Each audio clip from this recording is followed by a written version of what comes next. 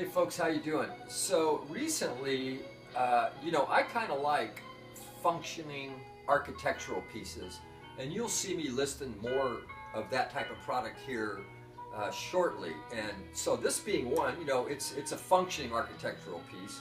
This is a a, a walk-in movie theater ticket box. When I got it, it was in disrepair. I went, that thing is really cool. I know it didn't look like much when I got it. So I sent it out, took it all apart. I sent it out for powder coat, did it in a red powder coat.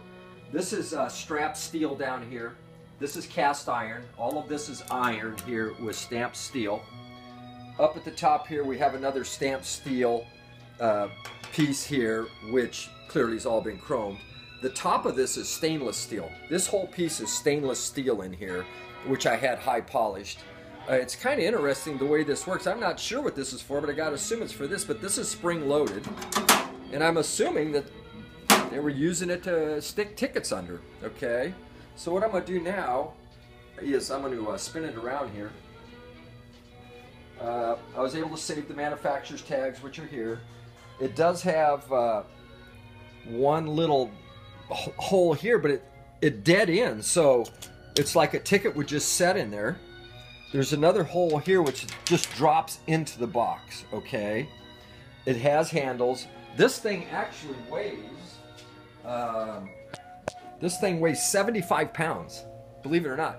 This thing's heavy, 75 pounds. So I'm gonna open it up here and kind of show you how it works, right?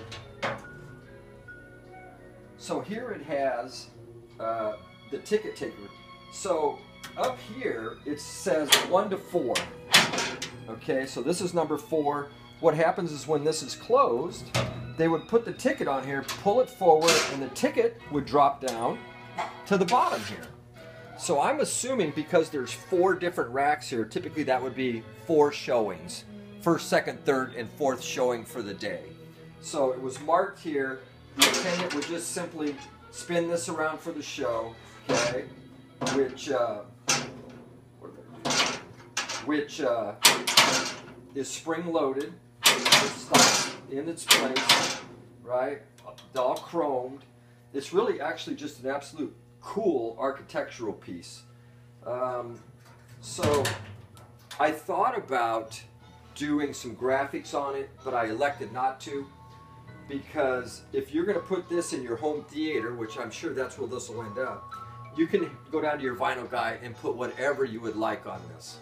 But I did pick up, this is a little reproduction sign I thought was kind of cool. I'm going to ship it out with it. But this is just an idea what it would kind of look like. And you could use this on it, get some of that sticky wall stuff, you know, you just pull and you can put it on here. This is kind of cute. Uh, or you can put your own graphics on it. But as an architectural piece, and this was a lot of work, right? But it's just really cool. I don't know where you'd get another one. Uh, when I seen it, I went, man, that's that's sharp. I'd like to redo that, and so I did. Uh, if you got a home movie theater, this thing is absolutely cool. Put it out at the entrance.